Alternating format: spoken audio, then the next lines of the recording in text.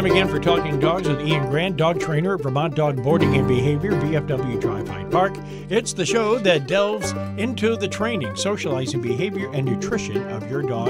And it's brought to you again by Guys Farm and Yard with locations in Morrisville, Montpelier, Williston, and St. Albans. And we're back with the trainer, Ian Grant.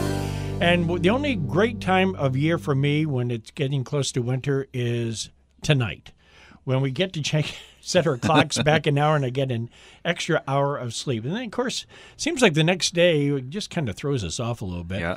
So that's what us humans deal with. Do dogs have to deal with the time change too? I mean, obviously, they don't know when the time actually changes until after it changes. So.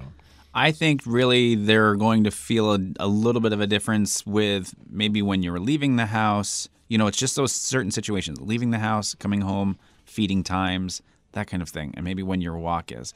The good part is is they're not going to question too much you coming in and out of the house. Feeding time there may be a little bit of a difference, especially for those people that and there's a lot of them out there whose dogs wake them up to be fed in the morning.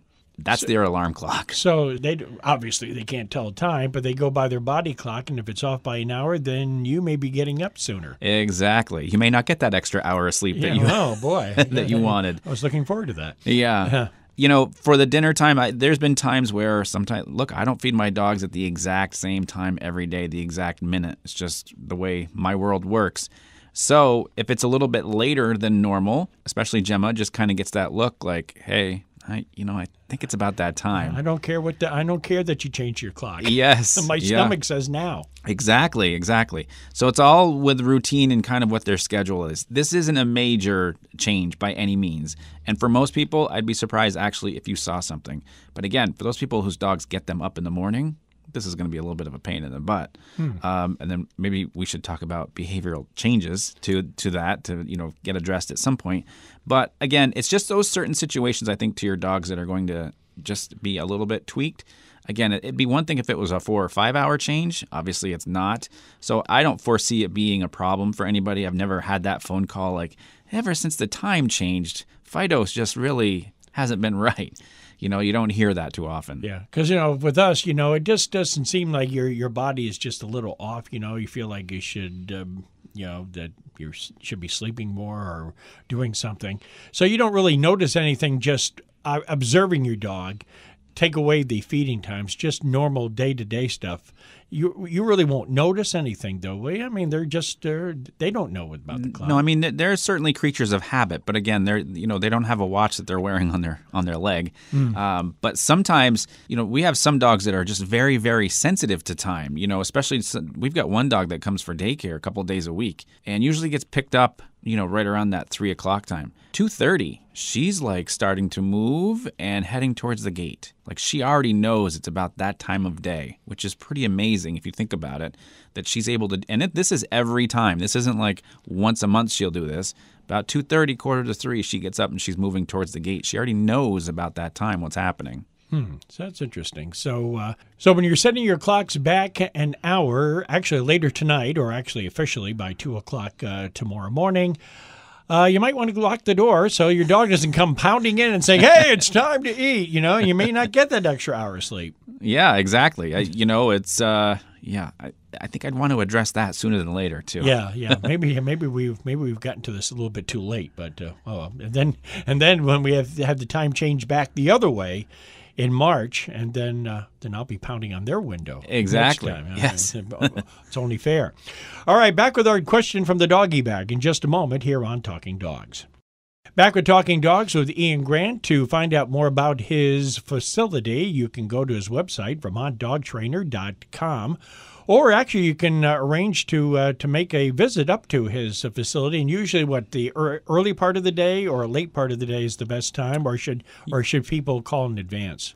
I mean, they could certainly give us a call if, if they're going to just randomly stop by. Anytime between 10 and 2 is fine. Yeah. Uh, we have a lot going on on each end of the day with departures and arrivals and stuff, so it's a little bit harder, but middle of the day is fine. That's 851 8375 if you want to give them a call.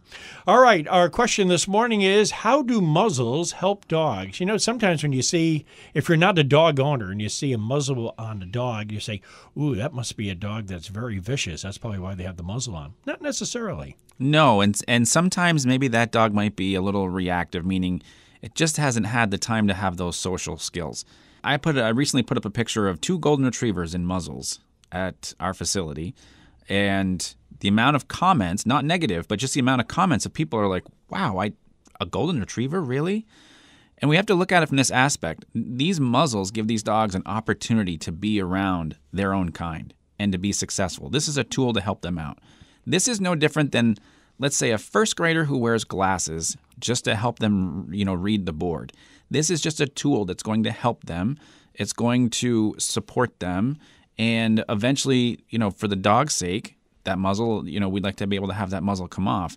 But we have to keep everybody safe. You know, I hear things like, well, that, that dog can't defend itself. Well, then maybe that's not, you're not in the right environment, too. You know, obviously, we're a very controlled environment. So for me, them having that muzzle gives them a wonderful opportunity to learn how to be with other dogs.